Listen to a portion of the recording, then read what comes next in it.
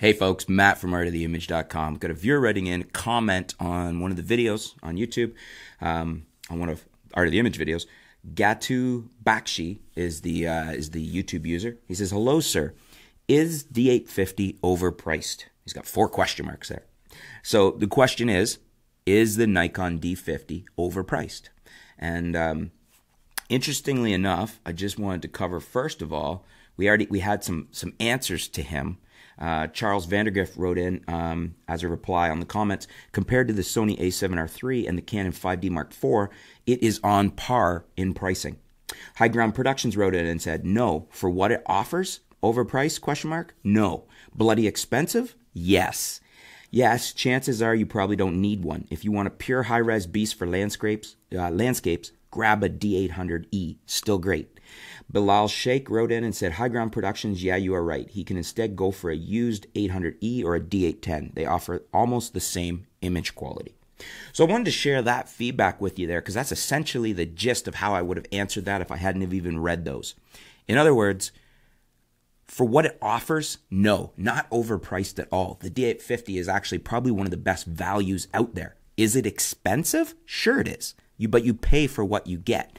It's a beast of a camera. It's one of the highest resolution cameras out there. It's one of the best performing cameras out there. It's one of the best cameras if you want to stay in the 35 millimeter system and not get into medium format but still compete with people shooting medium format. We're talking a beautiful high res 46 megapixel sensor and the ability to use the entire Nikon arsenal of lenses and I mean, that's that's a very powerful system to be shooting commercial work with. Not only that, the D850 gave us the most advanced to date of Nikon's offering for 4K video. Amazing 4K video system in the Nikon D850. As you know, I've had it here, I've reviewed it. I was uh, lucky enough to be able to get one of the first units out of Nikon Canada for review. It may have even been the first. Um, a pleasure to shoot with. For those of you familiar with the D810, with the D800E, with the D800, brainless switchover. In other words, you take that, pick up that D850. If you're used to shooting pretty much any of the Nikon bodies, but if you're coming from a D810, it's it's second nature to you. It's a beauty, beautiful beast, beautiful thing to shoot with. Um, the 4K video was amazing. The ability to extract stills out of that 4K video, just the quality of the 4K video, if you want to shoot with it as a production camera, is really really nice. So overpriced? No, not at all. It's you know, arguably the best DSLR on the market. For the money, it also, I mean, it's, I've, I've, made the point before that it's the best value or the best camera on the market for 99% of most people's needs. It's a truly amazing camera. Is it expensive? Sure, it is, because you're getting like the best camera on the market, but they're giving you the farm for that price. So for the price you're buying in at, you're getting so much value built into that camera. There's not a lot you can't do with a D850. Like I said, it can compete in the realm of medium format cameras. So, good points here though. Um, compared to the A7R3 and the 5D Mark IV, it's totally on par for pricing, but I think it delivers more value, with the exception with the A7R3. The A7R3, I would argue, is probably a better video camera. I just prefer the Nikon lens lineup, so that becomes a totally separate issue. But as far as on par for pricing, certainly. And that's why I think you're getting so much value out of the 850.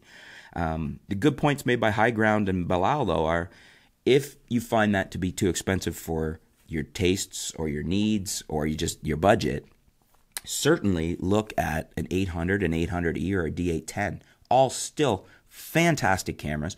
They can be had now that the D850 is out for a much better price. You can get them used, you can get them refurbed, and I would certainly look at one of those offerings if I wasn't wanting to step up to, to pay the full premium on an 850. 850 is a great camera. Don't think it's overpriced, but you can get an 810 or an 800 for a lot less money, and they deliver a lot of the bang that the 850 does. A little bit less resolution. You got a 36 megapixel sensor versus a 46. You're not going to be able to shoot 4K. You got 4K on an 850. You've only got 1080 on the 800 and the 810, but still an amazing camera. Always loved shooting with the 800 series. When I've had the 810 in here, I was always sad to see it go. It's a beautiful camera. What do you guys think? Do you agree with me? The 850 or the yeah, the Nikon 850, it's not overpriced. Is it expensive? Yes, but not overpriced. Do you disagree with me? Do you think it's overpriced? Let me know in the comments below. What do you think and why on pricing on the 850? Do you think it's good value for the money? You know I do. What do you think? I'm curious to hear what you guys have to say. Uh, let's help out uh, Gatu and his question. And thanks for your question. Stay tuned. We'll be back soon here at artoftheimage.com.